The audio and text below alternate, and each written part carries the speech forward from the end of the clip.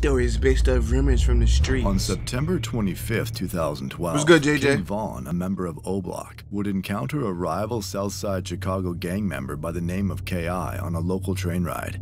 KI is a member of STL, which stands for St. Lawrence, a street in which most STL gang members reside on. Nigga said I'd and fuck Uzi. Why? Like that ass, why? years, and He's the tiny and cute. between Hey, the two fucking gangs yo. has resulted in many casualties. When King Von and KI spotted each other on the train, the two immediately began to get physical, with King Von landing several punches to KI's face. After the Niggas seen each incident, King train. Von logged onto Twitter and tweeted about the altercation with KI, claiming that an opposing gang member got caught with their guard down on the train. KI would then begin to tweet about the situation herself by saying that her ear and arm are messed up. How you admit to getting followed fucked up? Tweet by also saying that she only has a bruise on her face and that she's not tripping because her 40 caliber firearm would put a hole in King Von's face. This situation stemming from the altercation on the train would I ain't gonna lie. I punched the op D word in her face. I punched the op D word in her face. On God, I did. Bro, it don't even matter. It's not a girl anymore, bro. She's man. soon become the start of King Von and KI frequently communicating with each other on social media. Just four days after the train incident, KI would tweet, retweet if you think I look good, in which King Von would retweet shortly after. Hey, yo. Three days later, KI would get into another altercation on the train, but this time with Lil Scud, an O Block member who is friends with King Von. KI was eager to let this be known and quickly tweeted out that she beat up Lil Scud and to let King Von know that she isn't someone to be messed with. Nigga name is After Devon. 30 minutes of no replies, KI would tweet directly at King Von explaining how she beat up Lil Scud all by herself and that he didn't even get one punch on her. King Von would eventually Damn. reply stating that KI is about that life and that he may be in love with her. KI would respond to this by calling King Von gay. Von clearly didn't appreciate that and told KI not to do Nigga that. try to fuck the the conversation by saying he would treat KI right. King Von would soon begin to direct message KI on Twitter with his first DM being, What up? I'm trying to change you and upgrade you. I want to nail something. Nigga What's is up?" wild, bro. KI would appear to be somewhat shocked by these DMs, but King Von would respond the next day, saying that it wasn't him who sent the first message, and then goes on to say that he likes KI for real, and that Well, all this shit gang war in over with. What the fuck? with, that he is going to be with her. Who the fuck KI that? would then go on to tell King Von that she heard a rumor in the streets that O Block is trying to kill her. King Von would respond to those claims, stating that what she heard was true, but he doesn't think he could do it because he thinks she's actually cool. The two then discuss when they are going to stop gangbanging, to which they both reveal they believe that they are both going to die in the gang war. Man, ain't no. Hell no. But this little bitch say I was in the whip plotting on saying, saying y'all gonna kill me. On BD, I ain't gonna lie, motherfuckers on that, but I ain't even talk. I ain't fuck. On BD, I ain't gonna lie, motherfuckers is on that, but I don't even think I can kill you. You seem cool as hell. When you gonna stop game banging? Man, ain't no goofy. Man, ain't no goofy. When you gonna stop game banging? Fuck you talking about? Laugh my ass off on BD. I ain't trying to go on you. Wait, what? Laugh my ass on BD. I ain't trying to go on you.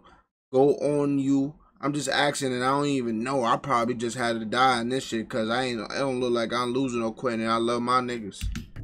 True. KI then goes on to say that she Yeah, I was thinking the same thing. We ain't no flash on GD. Y'all ass must really be threatened by me. LOL, y'all think y'all gonna take me out? thinks feels threatened by her, to which King Von would respond with, Look, I'm Look, I ain't trying to tweet with you, shorty. So why you want to go in and tweet with me? Nah, and nah, we just be trying to get whoever ain't like we thirsty, thirsty to get you. not trying you. to mess with you, so why are you trying to mess with me? We are just trying to get whoever.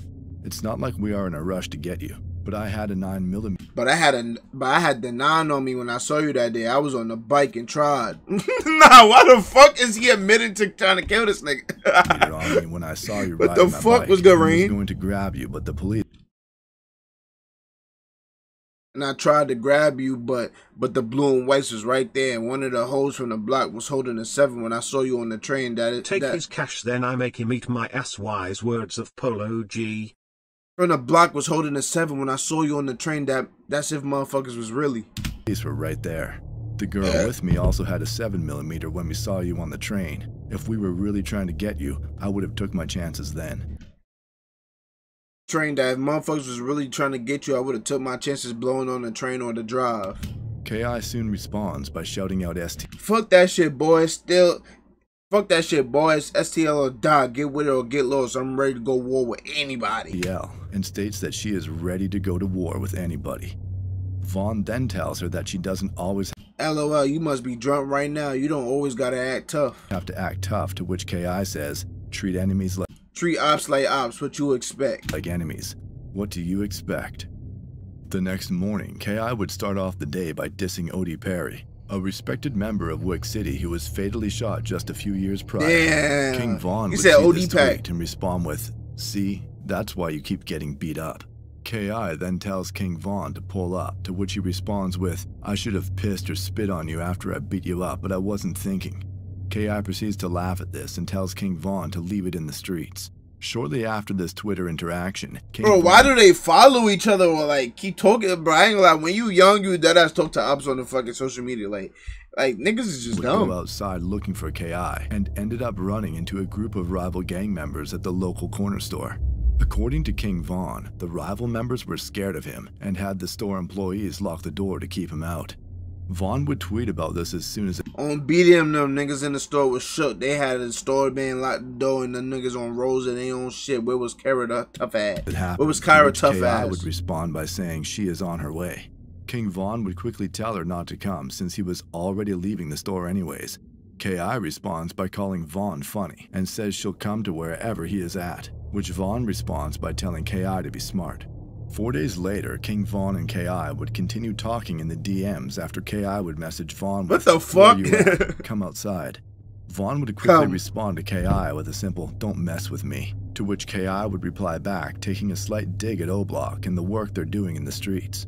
King Von would then ask KI if she wants to have a shootout with him, to which KI would shockingly respond with, hell yeah, you and your friend T-Roy. King Vaughn didn't seem to take this very seriously and responded back with, hashtag very scary.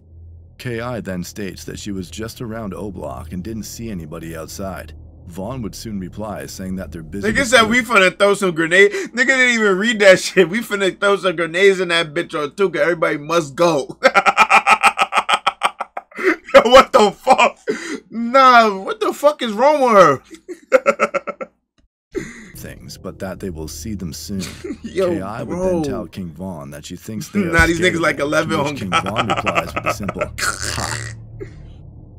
The conversation would then go dark for three days until King Von would randomly message KI saying, What's up? When are you gonna let your hair down and put on a tight dress for me? I would risk my life to get some of that.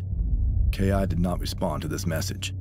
After that message, the two didn't speak to each other for about a week, but then on October 24, 2012, KI would announce on Twitter that she would be going to Swisher Sweets, Why are you posting your location? What the fuck? Why are you posting your location? a popular store located in O-Block territory. King Von would reply to this tweet moments later saying, Don't do that. Today is not the day. she, he's warning her. Today is not the day. Don't play around. do that. Today is not the day. KI would then respond by saying that she It was good, BJ. I appreciate you, gang. Have a good day. I that she was appreciate you. Always I said that four times. Von would then say, I saw you before, right or wrong. KI would respond with, Yeah, but ever since then, I feel like you've been hiding because I've been coming through your territory ever since. King Von replies with, I've been going to Rhodes, but I think when you come over here, I be over here.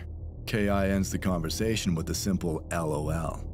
Two days later, KI would suddenly post a tweet stating that King Von was a goofy who got beat up by her friend FBG Butta just two years Nah, that be like that. This shit get me tight though. People be like, "Oh my god, you was just this two years ago. You was just that. You just got beat up. You was a TikTok. It don't matter, nigga. Niggas become, bro. I could be, bro. I ain't gonna lie. I could be a school teacher. I could be a, a, a daycare, bro. I could be a youth motherfucker. I could, I could be the most positive person. I could be a dancer on the train, nigga. The next day I could become a killer. It does not fucking matter, nigga. It does not matter. People like, oh my god, you was just a good boy. Now you in the street. It don't matter, nigga. Niggas was just basketball players. It don't matter. Anybody can, anybody can. Feel me? It is what it is. Niggas can start drilling at any time. It don't matter. Circumstances change. I ain't gonna lie. I used to think like this too. Like, bro, you was just doing this, and now you a gangster. But it really don't matter, bro. It really don't matter. King Von would see this tweet and soon reply back saying, "And you know the other stuff I did to you That guys, ass, it takes right?" one To thought, which Ki would and he say, just do it. "You it." think you're drilling, but you need practice." King Von fires back by denying that he needs drilling practice, in which Ki responds by saying, On BD, I need practice, shorty, because King Von does his thingy thing and all that. what the fuck is he? You talking too much. Ask your Royd, he know about me on GD. Von is saying too much for Twitter, and that Von's friend Steroid, an O Block member who was fatally shot a few months prior, knows On God, not anybody though. No, literally anybody, nigga. The happiest go lucky person ever. The pussiest person you know could really the next year could be a gangster. Like It's about her. King Von then laughs at crazy. KI for saying on GD, then proceeds to tell her that she can ask her dead friends about him. Three days later, KI would tweet at King Von saying, I want to meet King Von face to face, in which Von would respond with, LOL, you don't really want that. like none of the big homies is telling these niggas to get off the fucking line Kira. online. KI Like, would then respond with, See, you don't think I'm tough. Four days later, No, KI she would said, "See, you think I'm pussy." tweet at King Von, saying that she hopes people in O Block don't actually call Von King Von, and that it's suspect if you do. King Von would respond back by claiming that he earned the name King Von. KI responds by bringing up the fact that Von used to get beat up hello, you firmly turned up, huh? Because a few years ago you wasn't known you was getting beat back up in the day. shit. Von replied back laughing at the fact that KI was even talking about getting beat up. LOL, you talking about getting beat up. If it wasn't no guns, I'd be walking on roads and EBT drilling y'all in the face with my fists. Not if it wasn't for guns, he would be walking up and down their block all day. Six days later, King Von would make a tweet about KI saying that she sounds good on the phone.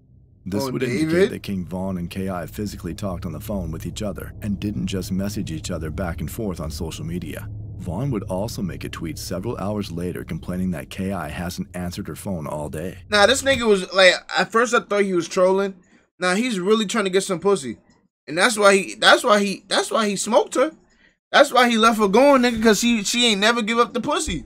King Von would eventually get arrested on November 20th, 2012 for unlawful use of a weapon by a felon. Dayvon Bennett, led what to the King Von sitting behind bars for over a year. While behind bars, King Von's sister, Kayla B, tweeted at KI telling her that Von misses her and that she should go and visit him in jail. KI responded with LOL, but Kayla B followed up insisting Oh, that her ad bro, King the Von fuck? really wanted to see her. On February 11th, 2014, King Von was released. Kid Von was kinda cute, and you're one of fucking gay. He did following his release was tweet to KI saying, "What's up? You don't miss me?" Nah, I ain't gonna lie, he dead he dead like her. All jokes aside, he has to like her, bro. Little shorty a tweaker. Little shorty a tweaker have to be, bro. There's no way your first day home you hit up fucking her. KI Like, would quickly respond with, What's up? When are we linking up? King Von would then respond by asking why she never came and visited him in jail after allegedly saying she would. KI would not reply directly to this tweet, but moments later tweeted, How does it feel to lose your friend while behind bars? Referring to the death of J Money, one of the Damn. top members of O Block who was fatally shot during Von's that nigga was a graduate. King Von wouldn't say anything about the tweet, but would later tweet RIP J Money in honor of him. KI would soon retweet this as a way of taunting him, to which King Von would quickly compose a tweet discussing Crack and Modell, two STL gang members who unfortunately passed away. While all of this was going on, O Block was already making plans to avenge J Money after word got out that an STL gang member by the name of Lil B was allegedly responsible for the death of J Money. O Block was ready for Lil B, but before they could meet face to face, Lil B was fatally shot by the Chicago Police Department in March of 2014 after reportedly pointing a gun at one of the officers. This means that O Block would not be able to avenge one of their top members and were now looking for the next best thing. On April 10, 2014, KI would release a series of tweets regarding her future. The tweets state, I do what I do because I know God has a day for me. You're nobody until someone kills you. That's just real. I've seen too many of my friends in a casket. Less than 24 hours after posting those tweets online, KI and several others were standing outside of a home on the 6400 block of South Eberhart when a man exited the passenger side of a blue Oldsmobile that was parked facing eastbound on the corner of 65th and Eberhart. The man proceeded to walk northbound on Eberhart and quickly began shooting at the group of people standing in front of the house. The suspect would then retreat back to the getaway vehicle and flee the scene going eastbound on 65th Street. Three individuals were Like they really some op ass niggas. Like, damn, you got this bitch whole. You got this girl on a complete Google fucking maps. Look at at this shit. people You got her on Google fucking maps. Who the fuck is that? immediately rushed to nearby hospitals. Oh wait, what? Three individuals were hit during the situation and were immediately rushed to nearby hospitals. The first victim was an unidentified male who got shot in his right foot and survived his injuries. The second victim was rumored to be FBG Butta, the same individual that KI claimed to have beaten up King Von in the past. Butta was shot in the right knee and also survived his injuries. The third and final victim was shot seven times and passed away from their injuries during surgery at the hospital. That individual was KI. Detectives would arrive to the crime scene shortly after and began to Damn, bro. She died right after saying she was gonna die. She died. She died right after saying she was gonna die. interview anyone who saw what happened. While there were many witnesses on scene, most of them provided detectives with vague details about the case, with some of them even admitting that they are scared to cooperate. However, certain witnesses gave the detectives a similar story, stating that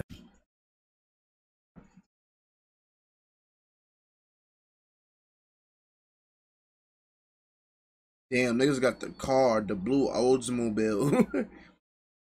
a male black subject exited the front passenger seat wearing a gray hoodie and proce- proceeded northbound on was trolling holding his side related that there was a group of individuals. Gunman ran back. The man wearing dark colored clothing approached the house and began to open fire while yelling things at them. These witnesses would also give detectives a name of someone who they think may have committed the crime, a name in which the Chicago Police Department were already quite familiar with. Over the next couple of days, authorities would continue to investigate the homicide of KI and eventually developed a photo spread of potential suspects. Okay, Russ. Witnesses were soon called in to view the photo spread, and almost all of them were quick to point out the same suspect whose name was given to detectives on the day of the crime. Then on April 29, 2014, just 18 days after the murder of KI, Dayvon Bennett, aka King Von, was taken into custody by Officer Fernandez of the Chicago Police Department's Fugitive Apprehension Unit to be interviewed by detectives. At around 1 p.m., King Von was placed in an interview room where two detectives began to question him about his involvement in KI's murder.